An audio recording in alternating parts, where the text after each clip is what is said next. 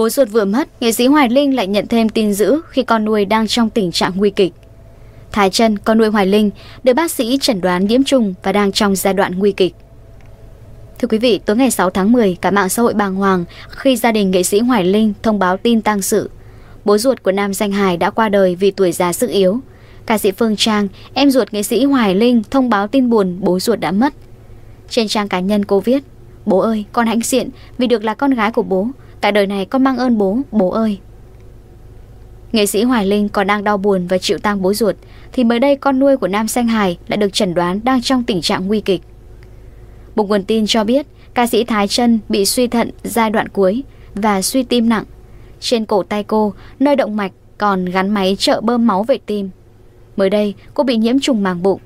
Do chân phải mổ hở đặt hai đường ống từ bụng ra, một ống là để cách vài tiếng truyền vào một bịch dung dịch mấy lít thuốc để lọc thận do thận hư, ống còn lại để xả mấy lít dung dịch thuốc lần trước đó đã cho vào người. Chính vì thế mà chỗ này cực kỳ nhạy cảm và nguy hiểm, có nguy cơ nhiễm trùng rất cao, người này cho hay.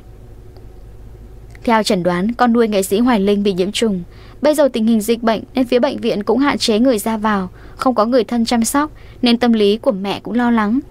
Trong thời gian qua, nhiều nghệ sĩ mất vì bệnh nên mẹ cũng hoang mang, anh nói. Theo đó, Thái Trân là thí sinh từng gây ấn tượng mạnh với khán giả trong chương trình The Winner Is, Tôi là người chiến thắng. Điều gây sự chú ý chính là trong chương trình, ca sĩ Thái Trân bất chấp căn bệnh suy thận ở giai đoạn cuối để sống cho niềm đam mê âm nhạc.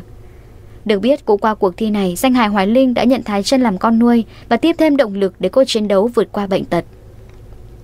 Thời gian qua, nghệ sĩ Hoài Linh liên tiếp nhận nhiều tin xấu từ sức khỏe gia đình cho tới ồn ào từ thiện. Anh vướng vào lùm xùm ngâm tiền từ thiện 6 tháng mà không đưa ra bất kỳ thông báo nào.